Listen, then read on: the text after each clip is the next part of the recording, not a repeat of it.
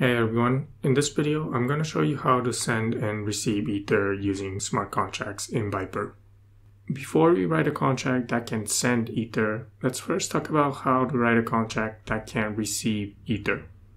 And then using Remix, I'll show you a demo of sending Ether from an EOA to this contract. For those of you who don't know what an EOA is, EOA stands for Externally Owned Account. Basically, this is an account controlled by a private key. Alright, so first of all, let's write a contract that can receive Ether. How do we tell Vyper that this contract expects Ether to be sent to this contract? And the way you do this is by declaring a payable default function. So let me show you that right now. So we'll declare this function as external and also payable. And this will tell Vyper that the function that we're about to write can receive Ether.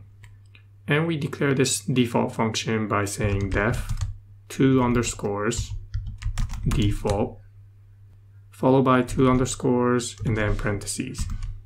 This is a special function that cannot take any inputs and it cannot return any outputs. This function will be called in two situations. The first situation is when a non-existing function is called. So for example, let's imagine that someone or some contract calls the function foo on this contract. But notice that we don't have a function foo here. So this will mean that this default function will be called. Another situation that this default function is called is when you just send ether to this contract. In a minute using Remix, I'm going to show you a demo of sending ether to this contract. And when we do that, this default function will be called. And for this example, when this function is called, I want to log some parameters. So first, I'm going to declare an event. I'll name this event payment. And what are some parameters that we're going to be logging? Well, let's log the sender. So name is sender. And the type will be indexed address. I also want to know the amount of ether that was sent, so I'll call it amount uint 256. And for this example, I'll also log the balance of ether stored in this contract. So here I'll name it bow. The type will be again uint 256. And for reasons that will become clear to you later, I want to log the amount of gas that is left when this event is emitted. So I'll call this gas left and it'll be uint 256. So when this default function is called, we will log payment with message dot sender. The amount of ether that was sent will be stored in message dot value. The balance of ether that is stored in this contract will be stored in self dot balance.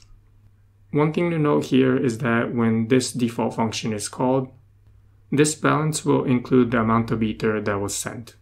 So for example, if this contract already has one ether and you send another ether, then this self.balance will be equal to two ethers. And lastly, we'll log the amount of gas that is left when this event is called by saying message.gas. Alright, so we're ready to use this contract using Remix. So I'm gonna copy the code.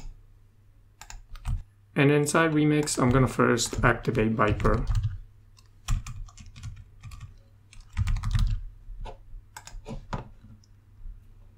And then we'll create a file called receive ether.vy and then paste the code. Next, we'll compile Vyper. Unfortunately, remote compiler is not working right now, so I set up a local Vyper compiler. So I'm gonna click local compiler. And my compiler is running on port 8080. And I'm gonna hit compile. Hopefully by the time you watch this video, this remote compiler will be working. Alright, let's deploy the contract. I'm going to scroll down and expand the contract. So notice here that I don't see any default function. But we can still send ether to this contract by calling this transact function. and leaving the call data empty. So we'll send one wei and call transact. And then looking at the transaction logs, you can see here that the payment event was emitted. The sender is me. The amount of ether that was sent is one wei. The current balance of ether inside this contract after the send is equal to 1. And that's the amount of gas that is left, which is a little less than 3 million. Keep this in mind for later when I show you another example. Next, I'm going to show you how to send Ether from a contract to another address. So we'll create an external function, which is going to be payable. And the name of the function will be send Ether.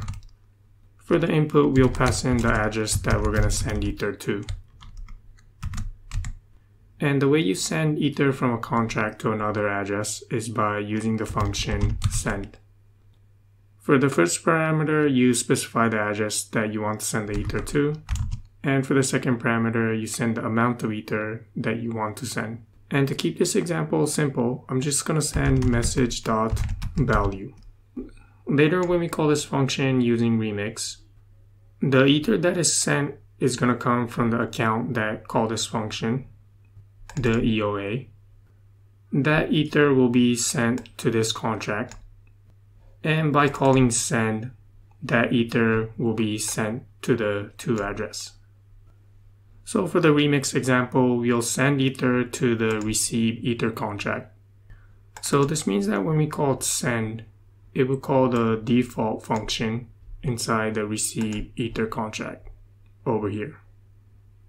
One thing to keep in mind that send forwards 2300 gas. So this means that inside the receive ether contract, this function will have at most 2300 gas to spend. And this is the reason why I'm logging the amount of gas left over here. So that when we run the demo, you'll see that this amount is less than 2300. Alright, so let's see a demo. So I'm gonna copy this code. And inside Remix, we'll create a Vyper contract called send ether.vy. Paste the code and then compile it. And then we'll deploy the send ether contract. And I've also redeployed the receive ether contract. So I'm going to scroll down and we have our two contracts here. So for this example, we'll send some ether to this receiver contract through the send ether contract. So I'm going to copy this address, the receive ether contract, and then open the send ether contract and then paste the address. I'm gonna scroll up and we'll send one wei and then hit send. This is the transaction and I'm gonna expand it and I'm gonna look for logs again. And you can see here the payment event. It had some parameters, but the one that I'm interested is, is in gas theft, which is equal to 2,207 and which is less than 2300. So let me quickly go over what just happened. So we called send ether inside the send ether contract. And for the to parameter, we passed in the receive ether contract. And for message.value, we sent one wei. Calling the function send triggered the default function inside the receive ether contract and it logged these parameters. This function received 2300 gas. So by the time it logged it, message.gas was less than 2300. Alright, so those were two examples of how to receive Ether in a contract and how to send Ether to another contract. And if you know Solidity, this default function works kind of like the fallback function. And this send function works kind of like the transfer function. Thanks for watching and see you later.